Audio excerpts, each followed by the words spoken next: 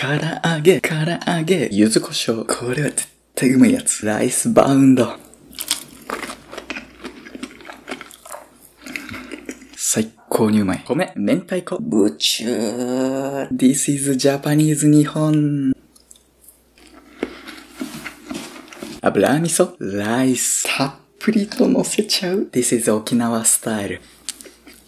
うーん、ムルマサッサ。